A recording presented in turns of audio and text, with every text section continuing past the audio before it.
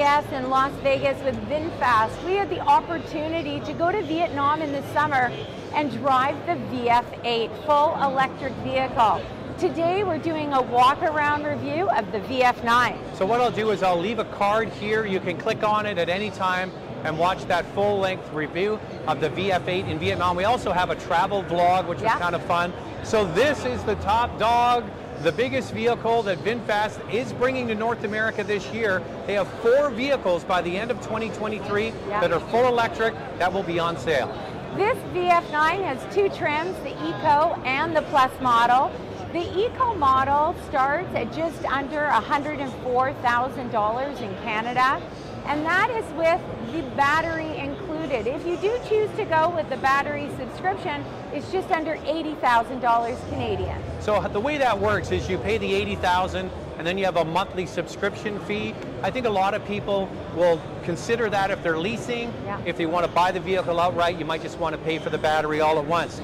So this is one of very few three-row mid-size fully electric SUVs. So it has a lot of room on the inside. And Andrea, I got to tell you, this is a very bold design Yeah. up front where my hand is. There's the air goes in here and it comes out here like a power dome. Um, very unique looking, right? Well, it, it's unique looking and it improves aerodynamics as well. I like the look of the VinFast vehicle. I think this VF9 is a real standout. It's bold, it's sophisticated. You know, there aren't a lot of seven passenger vehicles that kind of look a bit sporty. Yeah, and, and the side of it is very nicely done. They have the trim piece that goes over the windows that tucks down together, very elegant looking. So it's Yeah. kind of got a, you know what I would say? This kind of reminds me a lot of the SRT Jeep Grand Cherokee Yeah, at the kinda. front with this power dome. Yeah. And then at the side, a very sleek and elegant vehicle. But a three-row full electric is not common at all in this space. No, I mean, really, Volvo is coming out with the EX90 now, but there really isn't a lot of competition for VinFast at all. The VF9 Eco Trim comes standard with 20 inch wheels, available 21 inch on the Plus model, and then optional 22 inch wheels. The number one thing everybody wants to know with an electric vehicle, two things, how much power it has, and really the number one thing is what's the range. Yeah. And Andrea, what's the range?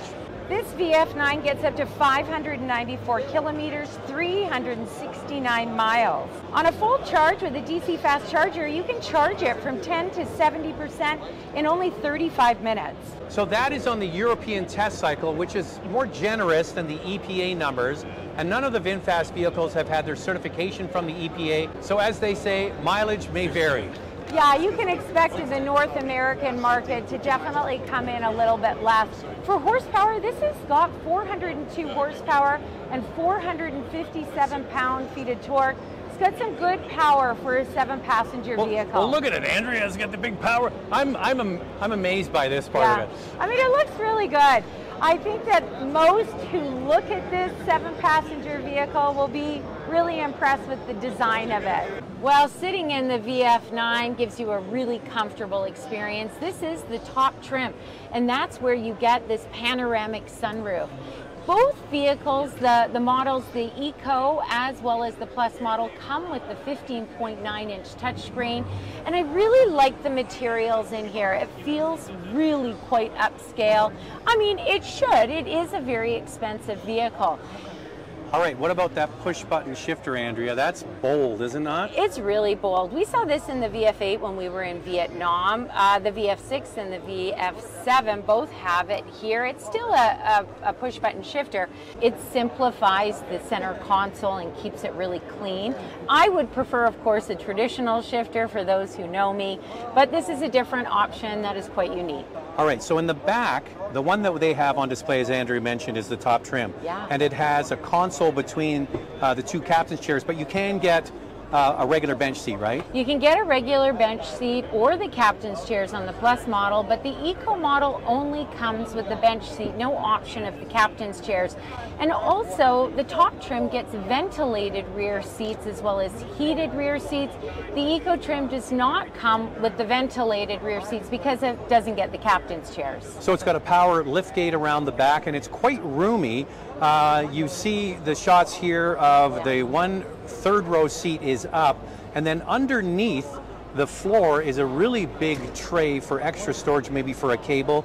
But this is a large vehicle. I would say it's kind of uh, on par with maybe like a Telluride or something like that? I also really like the trim level in this.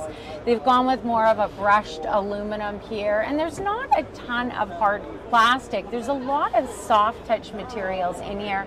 You've got your center console storage, which is uh, fairly deep inside. You'll find that to be adequate. And then your cup holders here and your wireless charger.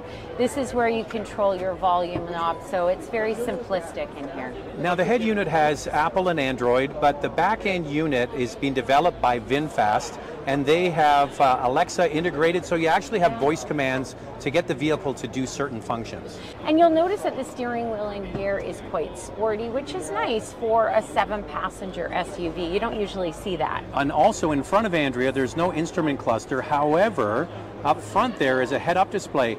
They're doing this on all of the VF products, even down to the VF6, which is the smallest subcompact. So I, I, you know what, I would like an instrument cluster, but if you're not going to give me an instrument cluster, the head-up display certainly is welcome. Yeah, it's a must. You definitely need the head-up display then for sure. Wow, look at the leg room in here. This is great. Lots of headroom, even with the panoramic roof that we've got in here. This is fixed, just so you know, it does not open. There are your cup holders and also a little storage space in here too. I applaud the captain's chairs because people do like that, mm-hmm. but the console really limits space to the third row. If it was me, I would probably get the bench seat. That looks comfy. Very comfy. You Should know, we see how far it goes back? It goes back to here. So I could I could really take a nap in here. That's for your driver. Driver, take me home. My driver. Legroom in the back is not huge. I think it would be best for smaller kids back here. Um, headroom is very good, but I just don't have a ton of legroom. You could still move this seat up a little bit, but you can see that my knees are quite high. So it wouldn't be the most comfortable spot, would it? I just want to add one more thing. VinFast offers a 10-year warranty or 200,000 kilometers, and the battery is also a warranty of 10 years. So if you are interested in a VF9, head to the VinFast website, place your order. They're going to be hitting the market in the spring of this year. Okay, so the VF8s are being shipped from Vietnam now. Yeah. This is coming in the spring, and they have two additional models that'll be coming by the end of 2023. I'm going to put cards to all of the videos. Watch them when you can. So that's the big one from VinFast. Impressive looking, I think. This one I think is going to get people excited.